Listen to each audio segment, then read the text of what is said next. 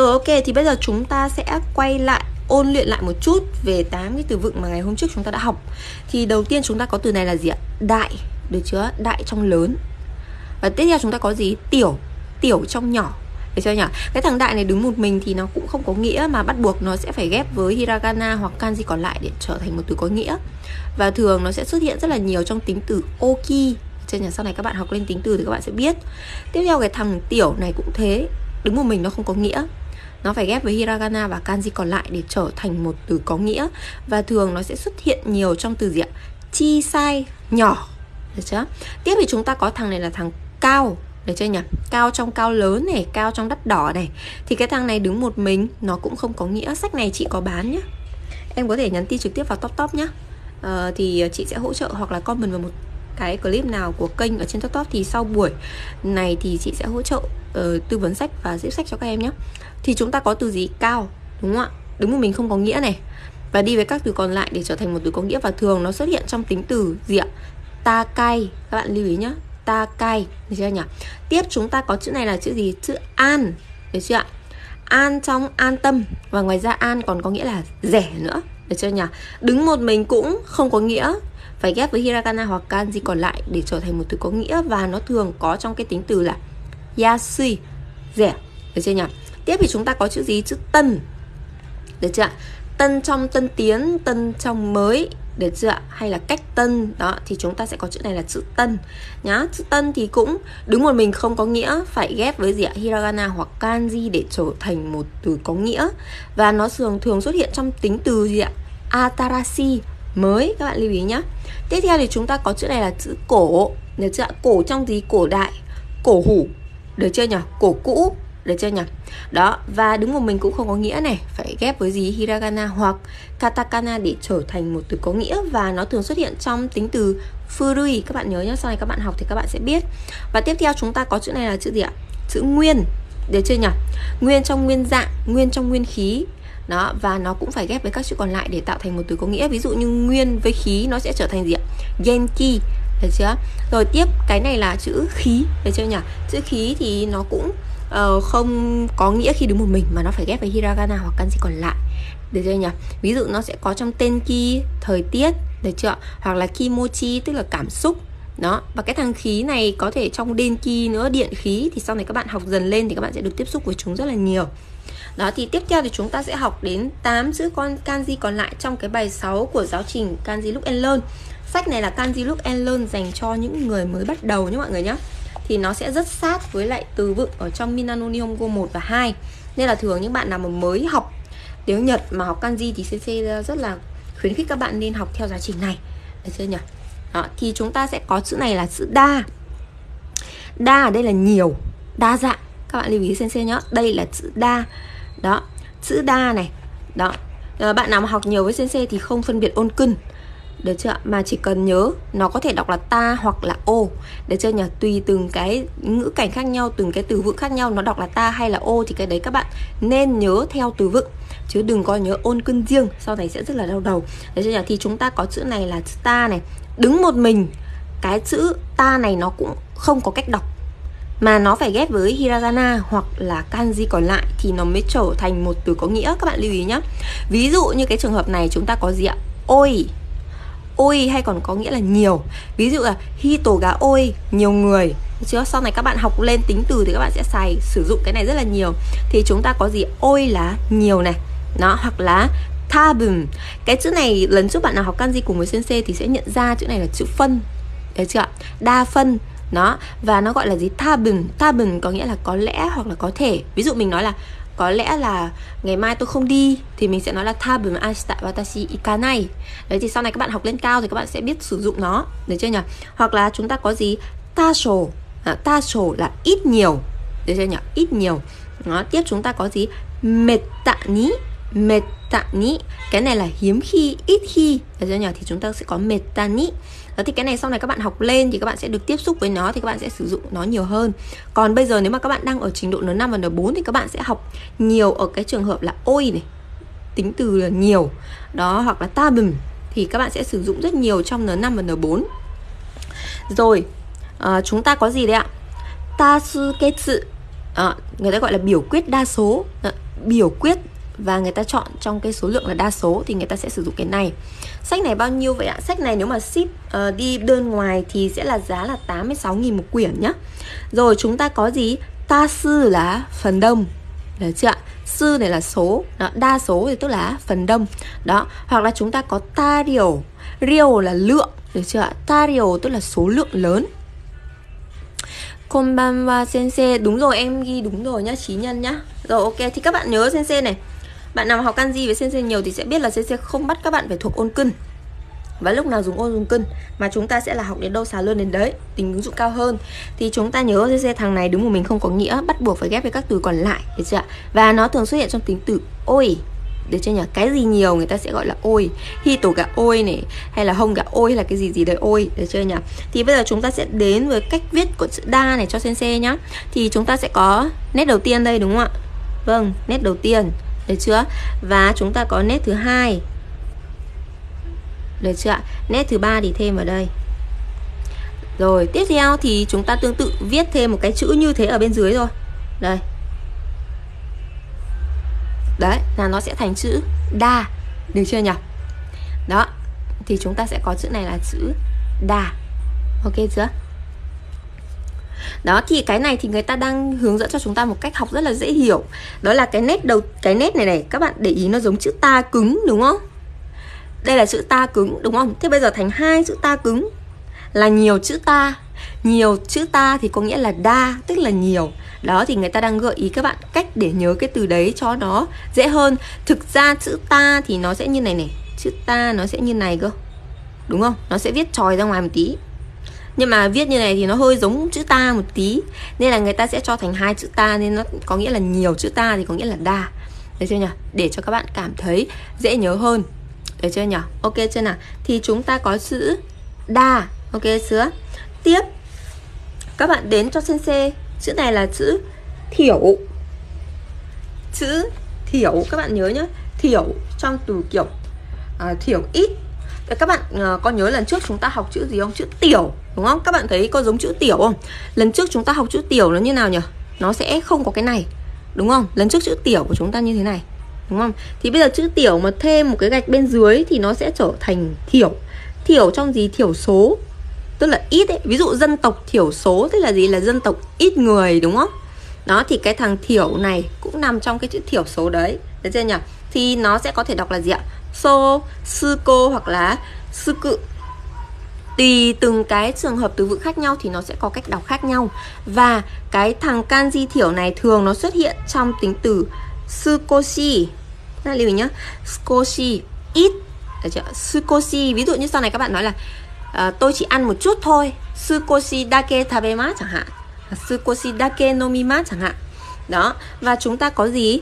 Sukunai, một chút ít một chút, thằng này cũng là sukunai và chúng ta có gì ạ? Thiếu cộng với niên, nó sẽ thành shonen là thiếu niên. Thế là những bạn mà đang ở lứa tuổi thiếu niên. Rồi tiếp chúng ta có gì? Shoujo là thiếu nữ. Được chưa nhỉ?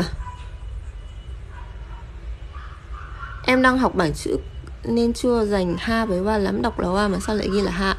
Ờ cái này thì khi các bạn học lên thì các bạn sẽ biết Ví dụ như đấy là những cái từ mà người ta, người Nhật, người ta nó gọi là cái quy tắc đọc của người Nhật như thế thì mình phải chấp nhận như thế Ví dụ như kiểu em học chữ là chữ này là chữ he, đúng không? Nhưng mà khi nó trở thành trợ từ, người ta không đọc là he, mà người ta đọc là ế. Được chưa Còn ví dụ như các bạn học chữ này là chữ gì? Chữ ha, đúng không? chữ ha, đúng không nhưng mà khi mà vào trợ từ thì nó không đọc là ha mà nó đọc là quá đấy chưa đó thì cái đấy là cái uh, quy tắc của người Nhật thì mình bắt buộc phải theo thôi nhá. Sensei cho em xem biển sách với ạ. Đây nhá, kanji look and learn nhá. 512 từ. Dành cho những bạn nào mà học từ N5 lên đến N4 nhá Thì sẽ phù hợp với sách này. Ờ, Ở phần kênh cũng có clip nói về sách này đấy. Thì lát nữa các bạn có thể ra để xem tham khảo. Ok chưa nào?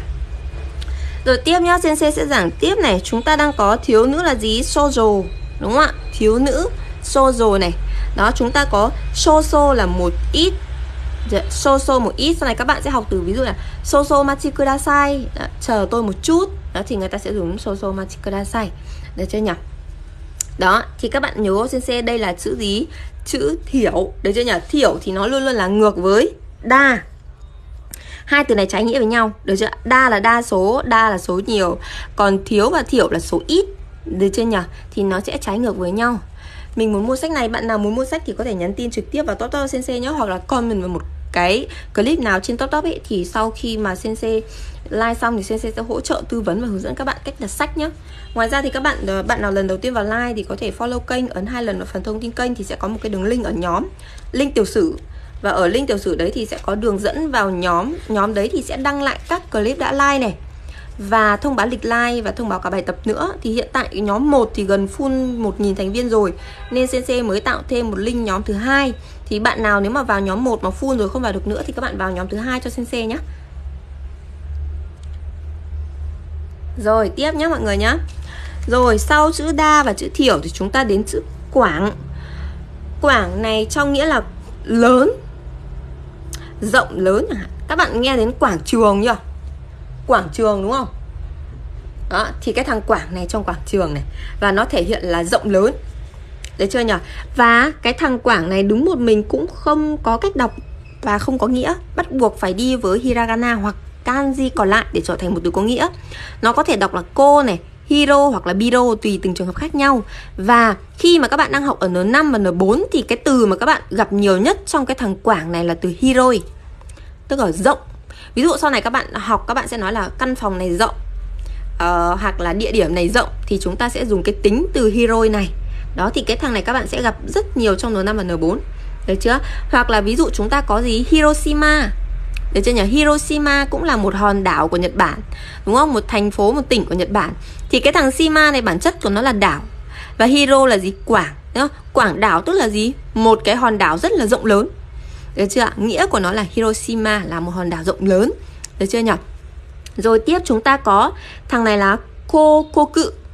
Đó, quảng này rất giống như kiểu là quảng cáo. Đấy chưa nhỉ? Quảng cáo, quảng bá, thì nó gọi là gì? Cô cô cự. Đó, tiếp này, chúng ta có gì? Hiroba.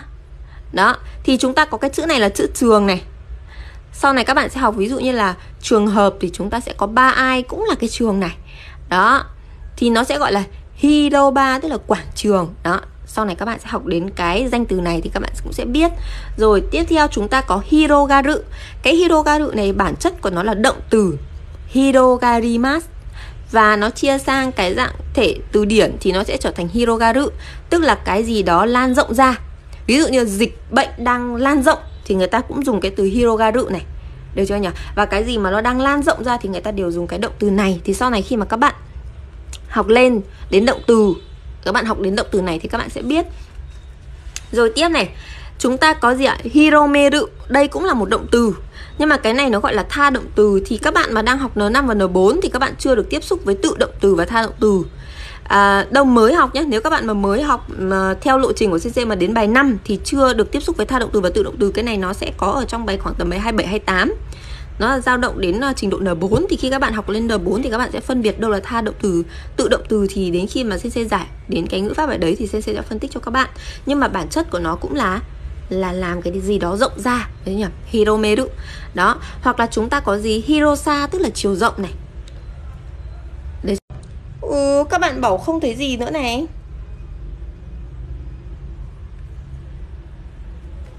Lạ nhỉ? Điện thoại của em bị đều rồi à?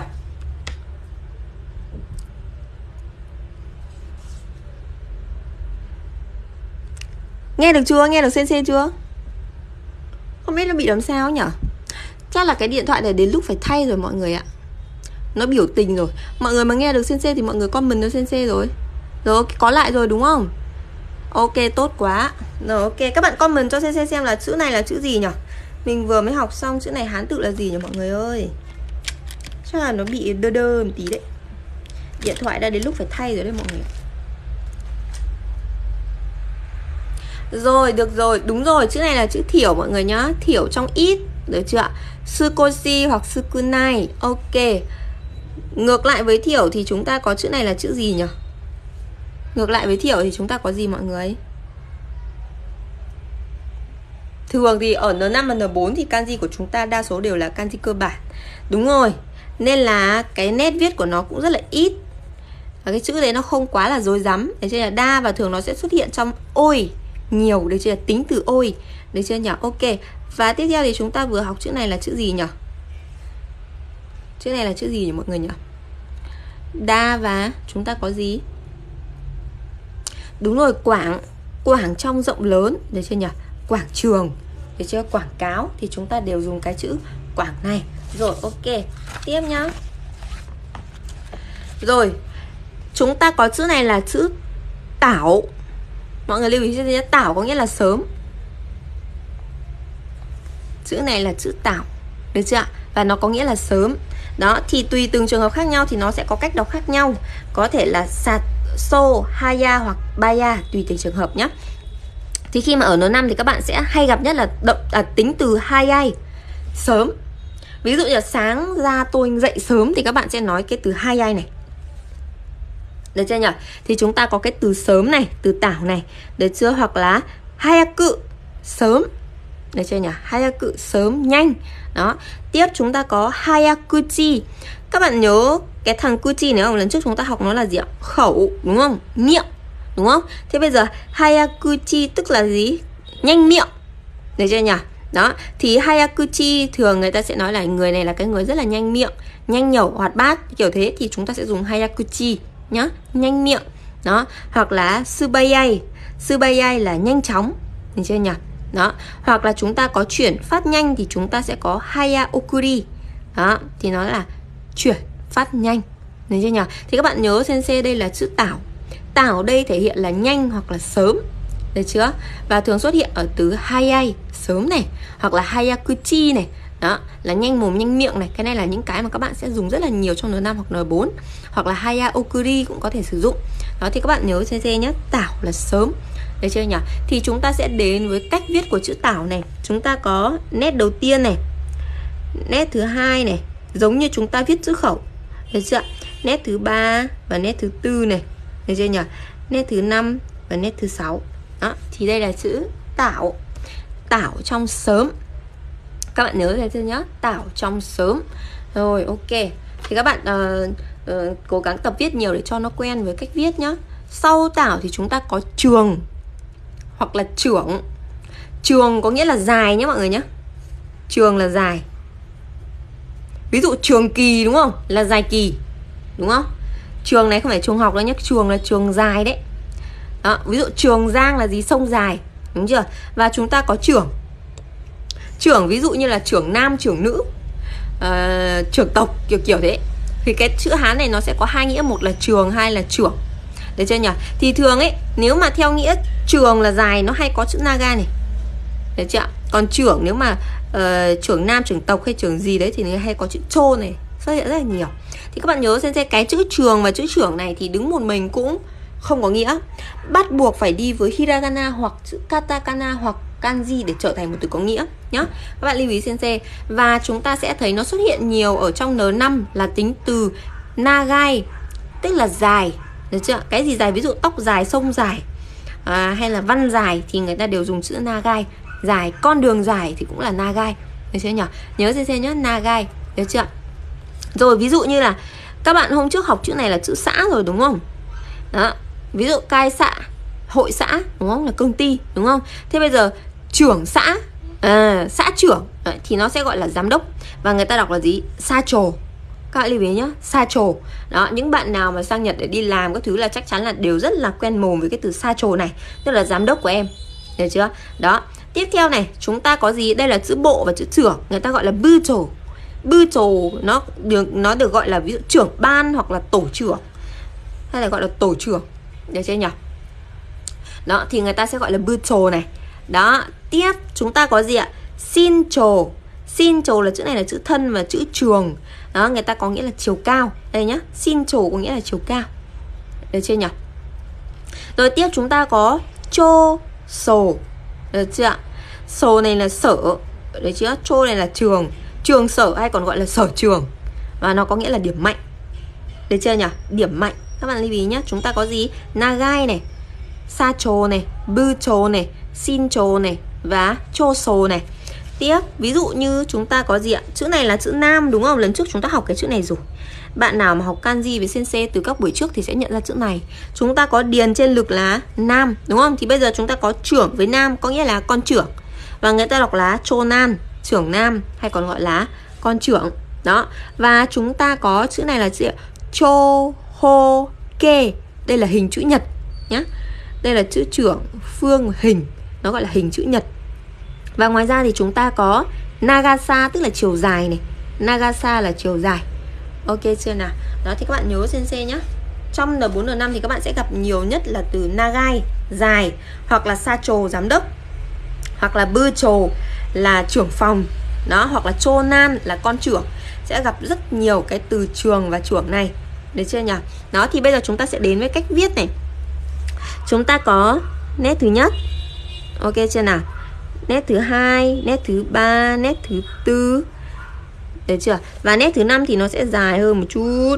Được chưa nét thứ sáu. Được chưa? Nét thứ bảy và nét thứ 8 thì đây là chữ trường hoặc trưởng. Chữ của CC thì nó không được đẹp cho lắm. Nên là các bạn nếu mà tập viết thì cố gắng viết đẹp hơn CC nhá. Ok chưa nào? Thì các bạn có thể mua về và có cái sách bài tập thì nó có cái phần tập viết đấy viết nhiều thì chữ sẽ đẹp thôi được chưa? Ok thì các bạn nhớ CC đây là trường và trưởng. Được chưa Tiếp theo chúng ta đến với chữ này là chữ Minh. Các bạn lưu ý nhá Đây là chữ Minh. Đó. Chữ Minh thì nó sẽ thể hiện là sáng này. Đúng không? Sáng. Minh trong nghĩa là sáng. Được chưa nhỉ? Sáng tỏ, sáng rõ. Thì nó sẽ sử dụng cái chữ Minh này. Đó thì nó sẽ có rất nhiều cách khác đọc khác nhau Nhưng mà nó sẽ đứng một mình, nó không có nghĩa. Các bạn nhớ xem nhé chữ minh đứng một mình cũng không có nghĩa, nó phải ghép với hiragana hoặc katakana hoặc kanji còn lại để trở thành một từ có nghĩa. Nó lúc thì đọc là miều, lúc thì đọc là mê, lúc thì aka, lúc thì a, lúc thì aki. Thì tùy từng trường hợp khác nhau, nó sẽ có cách đọc khác nhau chứ nó không có cái công thức cố định. Là lúc nào thì đọc là miều, lúc nào đọc là mê nhá. Thì các bạn lưu ý xem xem. Thì chúng ta đến với chữ minh này. Chữ minh thì chúng ta sẽ thường gặp trong tính từ akarui. Akarui là sáng. Ví dụ như là bạn thấy cái bạn này trông rất là sáng sủa, trông rất là tươi tắn, bạn cũng có thể dùng từ akarui để chỉ cái tính chất là gương mặt sáng sủa.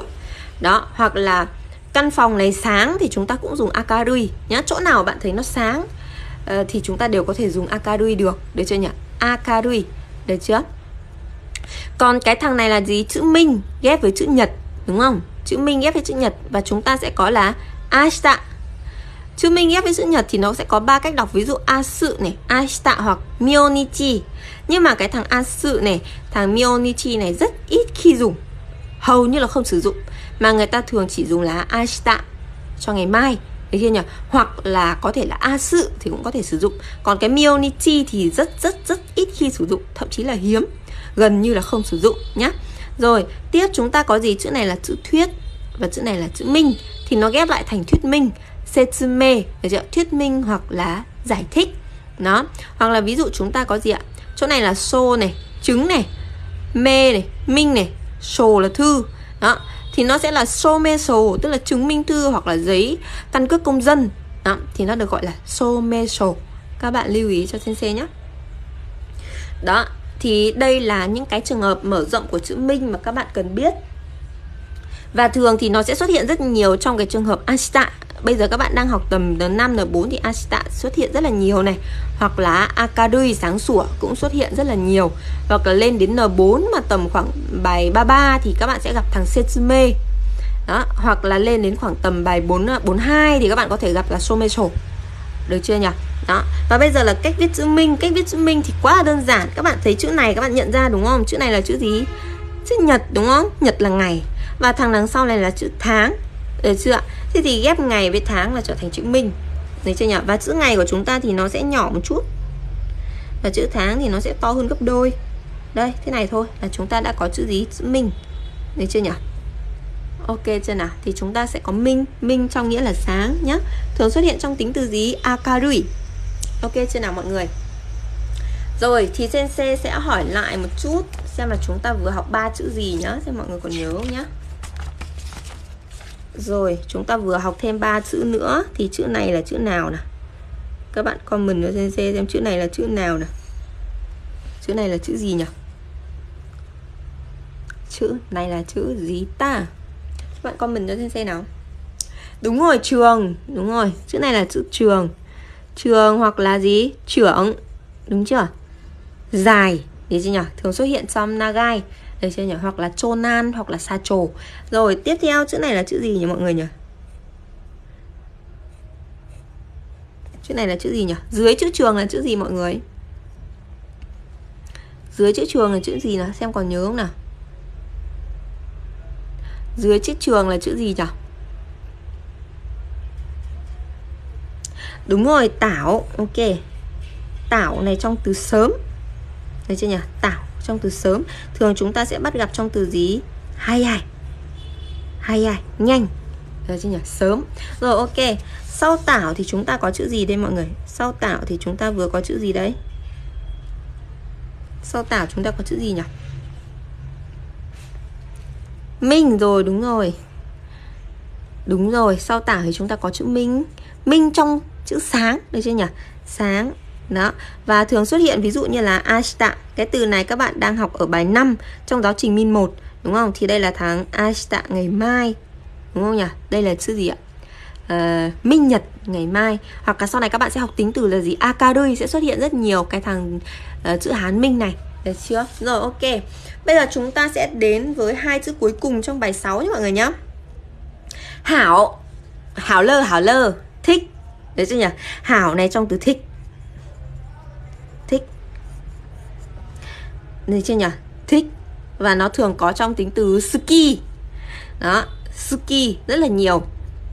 Thì cái chữ hảo này các bạn nhìn nó, cấu tạo của nó rất là đơn giản này. Chữ hảo này các bạn nhìn chữ đằng trước, các bạn nhận ra chữ gì không? Con mình nói xem xem nào. Chữ này là chữ gì nào? Chữ này là chữ gì mọi người? Có mình xem xem nào. Chữ chữ này là chữ gì đấy? Chữ này chữ gì nhỉ? Đúng rồi, phượng con mình đúng rồi này. Chữ này là chữ nữ, đúng không? Ok, sau chữ nữ thì chúng ta có chữ gì? Sau chữ nữ chúng ta có chữ gì mọi người nhỉ? Sau chữ nữ chúng ta có chữ gì đấy? Có nhận ra không? Cái chữ này chúng ta đã học rồi Cũng theo giáo trình Kanji Look and Learn Đúng rồi, sau chữ nữ chúng ta có chữ tử Đúng không? Vậy thì bây giờ người phụ nữ và em nhỏ Thì nó sẽ trở thành chữ hảo Hảo nghĩa là thích được chưa nhỉ? Thì nó có thể đọc là cô hoặc sư hoặc cô nô thì tùy từ trường hợp khác nhau.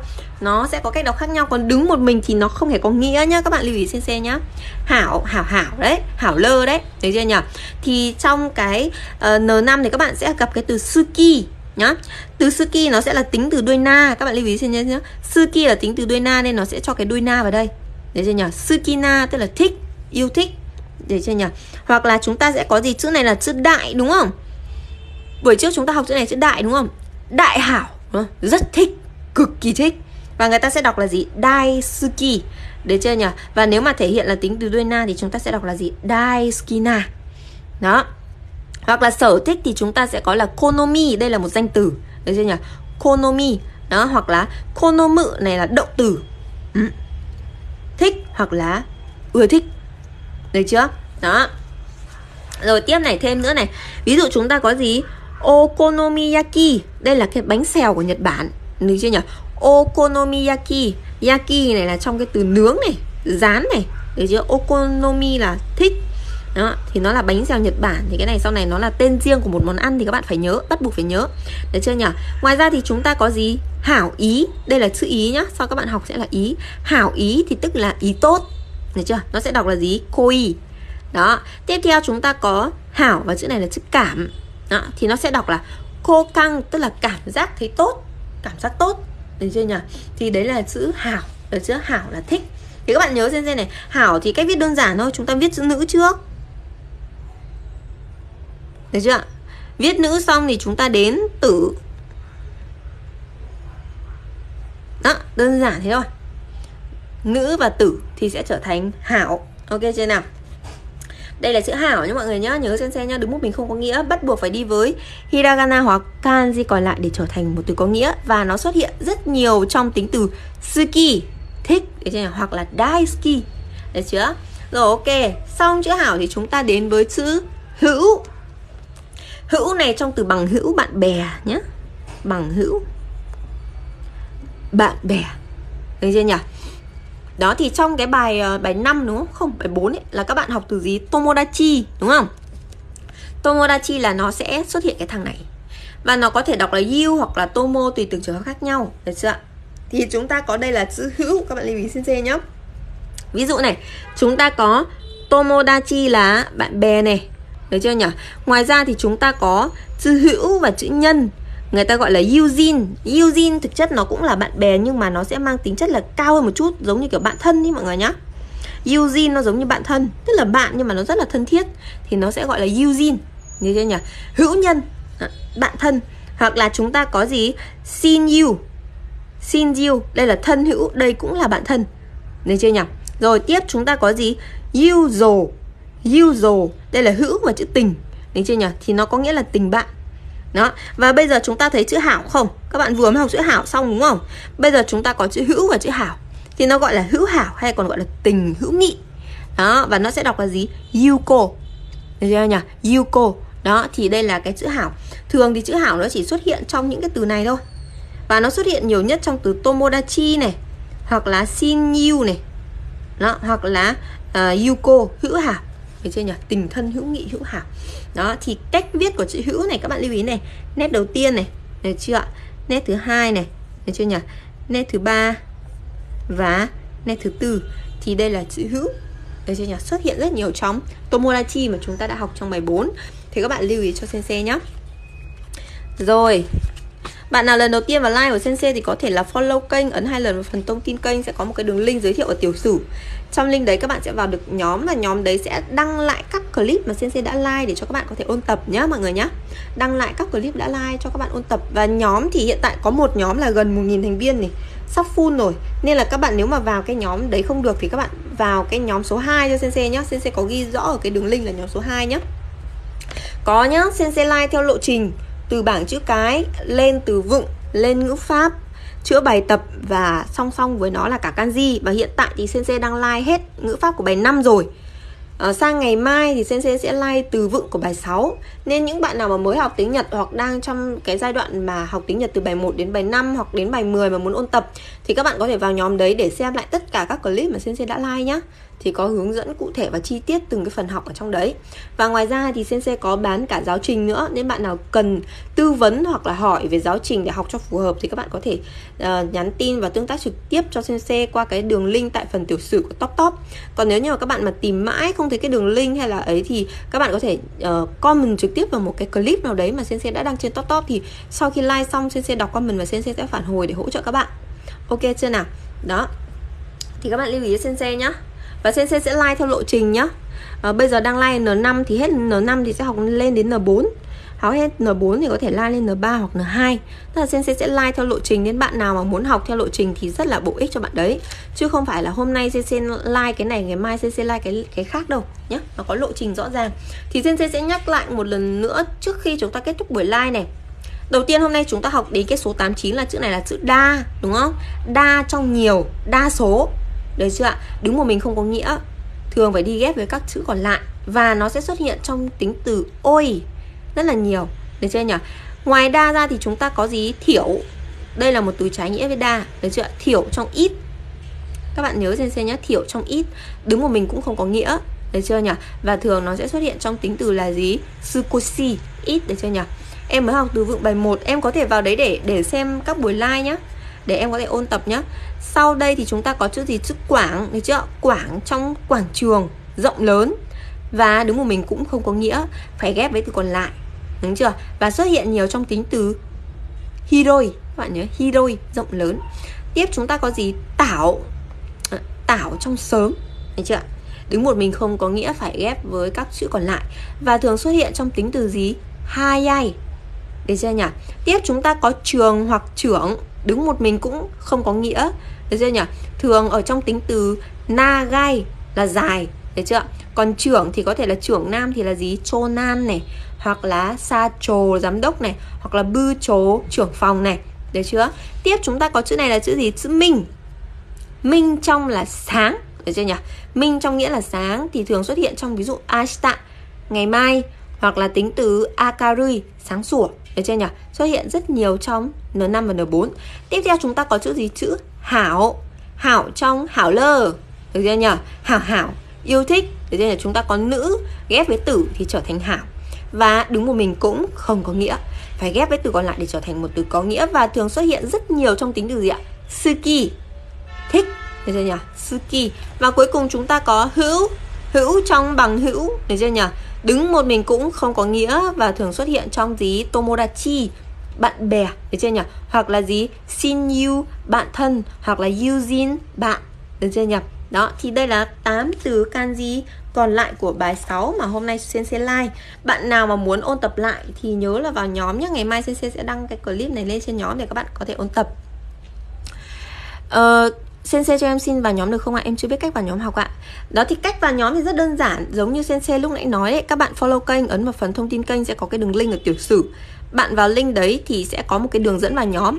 Nhóm đấy là nhóm giá lồ nhá hoàn toàn miễn phí không hề mất phí. Các bạn lưu ý Sensei nhá, nhé không hề mất phí. Thì các bạn cứ làm theo hướng dẫn là có thể vào nhóm. Còn nếu các bạn loay hoay mãi mà không biết cách vào nhóm thì các bạn cứ comment trực tiếp vào một cái clip nào đó ở trên kênh cho Sensei nhé các bạn comment trực tiếp vào một cái clip nào đó ở trên kênh cho Sensei nhé Hiện tại thì nhóm 1 khả năng là đã full 1.000 thành viên rồi, bởi vì trước lúc Sensei Live là 991 thành viên, bây giờ Sensei sợ là nó full rồi thì Sensei sẽ cho các bạn vào nhóm số 2 nhá.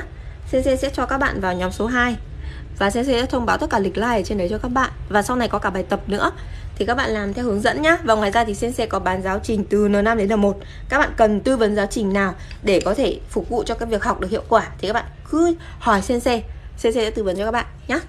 Ok, vậy là CC chuẩn bị tắt like đây. CC chào mọi người nhé Nhóm nhóm gì? 922 thành viên sao quản hết được CC Bây giờ là 990 mấy thành viên rồi.